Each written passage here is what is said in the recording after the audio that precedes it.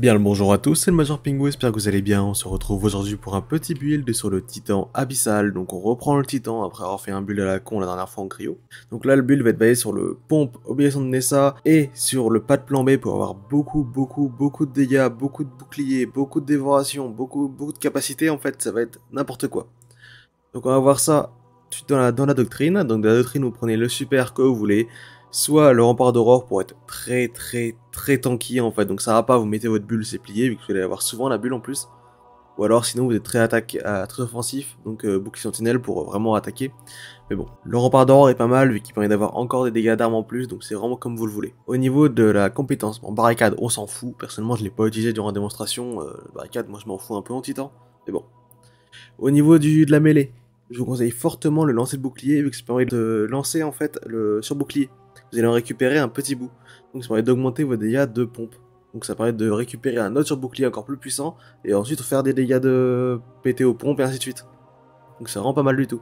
Pour la grenade, je vous conseille une bonne grenade, vous allez en utiliser quand même beaucoup. Moi j'aime bien la grenade à dispersion qui fait énormément de dégâts, mais sinon vous préférez peut-être la magnétique, ou la décharge, ou alors la pique abyssale, c'est comme vous voulez. Vraiment c'est comme vous voulez.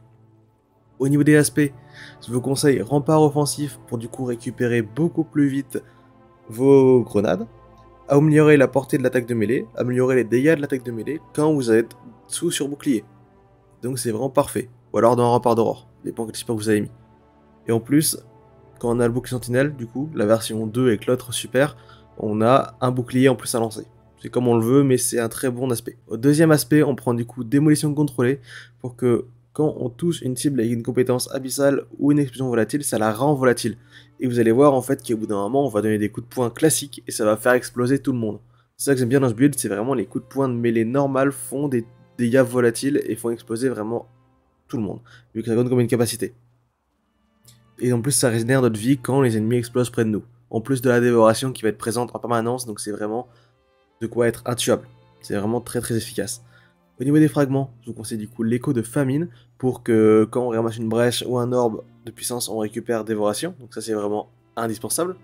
Que la brèche du coup avec l'artefact qui va être utilisé cette saison, donc c'est fumé. Ensuite on prend le petit fragment écho d'expulsion pour que les frags à la compétence font exploser les cibles, dont les coups de mêlée, on va dire infusés d'abyssal, vu que en fait une fois qu'on aura le bouclier, en fait tous nos coups de mêlée font de l'abyssal, donc font en même temps tir volatile et font en même temps euh, exploser les cibles, donc c'est vraiment parfait.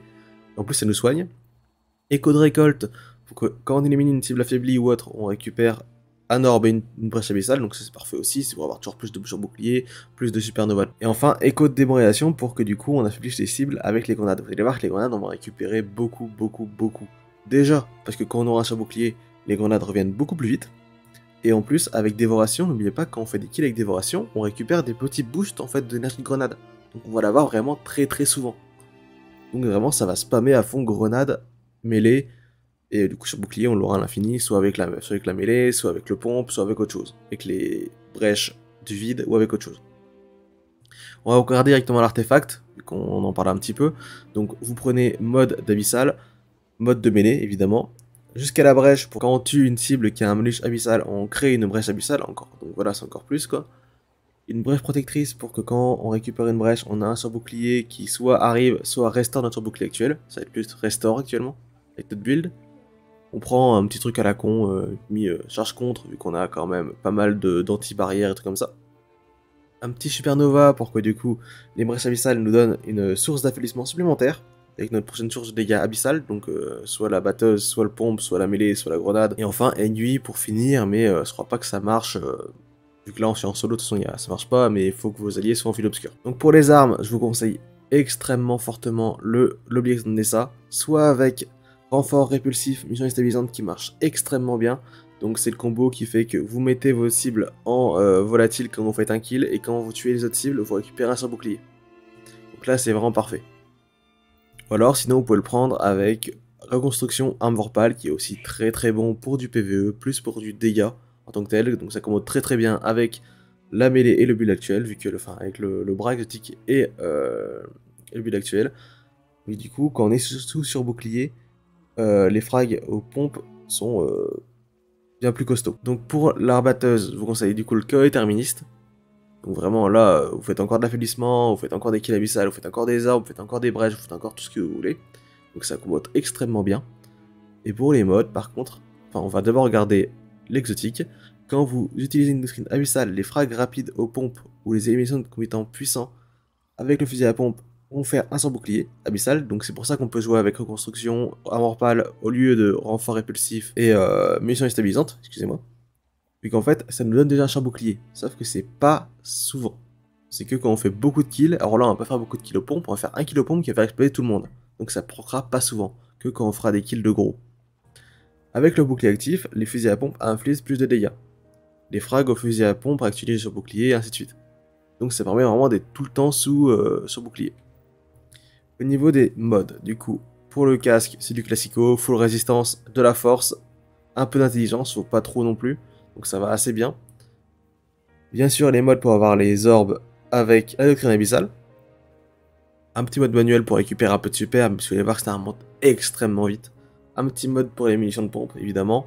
Sur le bras, de quoi recharger plus facilement avec l'arme abyssale, de quoi faire des orbes avec la mêlée, du coup pour être tranquille, récupérer du coup dévoration et ainsi de suite, et de quoi récupérer la mêlée avec réamarchage de mêlée. Parce que la grenade, elle revient toute seule avec le surbouclier, par contre la mêlée, c'est pas forcément le cas. Et enfin, pour le torse, réserve abyssale pour avoir plus de munitions de batteuse et de pompe, recharger pour avoir plus de, charges d'armure, donc plus de mêlée, unité mode de résistance, unité par unité, vous avez l'habitude, deux charges d'armure par orbe au lieu d'une, surcharge abyssale évidemment pour faire plus de dégâts en abyssal, tonique pour récupérer un petit peu de mêlée dès qu'on récupère un orbe, donc c'est très très bien aussi ça, un petit mode dilatation du temps, et un petit mode restauration pour dire de pouvoir quand même se régénérer un peu plus vite au cas où, même si normalement on a dévoration en permanence, on ne prendra aucun risque. Donc voilà tout pour ce build. S'il vous plaît, vous verrez bien une démonstration qui a été faite euh, juste avant. S'il vous plaît, n'hésitez pas à vous abonner. Si la vidéo vous plaît, c'est pareil. Sur ce, bonne journée, bonne soirée et à la prochaine. Bye